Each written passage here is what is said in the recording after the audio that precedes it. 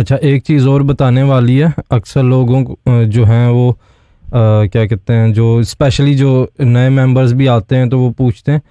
एक चीज़ क्योंकि ये बात हो रही है तो मैं क्लियर कर दूँ कि शाह साहब ने फेसबुक एडमिनस को जो इजाज़त दी हुई है वज़ाइफ की या सिस्टर ज़ायरा जो दे रही हैं वो सब शाह साहब की इजाज़त की तरफ़ से आ रही हैं। आप ये नहीं ये नहीं कर सकते कि मुझे इससे वजीफ़ा नहीं चाहिए इससे चाहिए।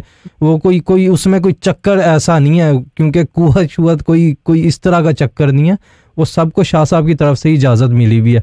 तो अगर एक बंदा दे रहा है वजीफ़ा तो ये ना करें कि नहीं मुझे इनसे नहीं इनसे चाहिए। ये सीनियर जूनियर नहीं है इधर कोई।